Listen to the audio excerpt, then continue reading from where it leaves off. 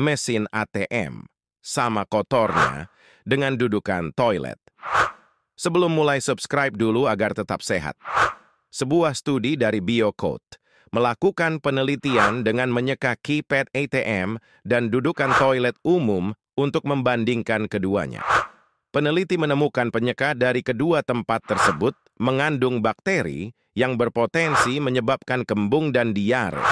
Oleh karena itu, tidak ada salahnya mencuci tangan setelah menggunakan mesin ATM agar terhindar dari penyakit.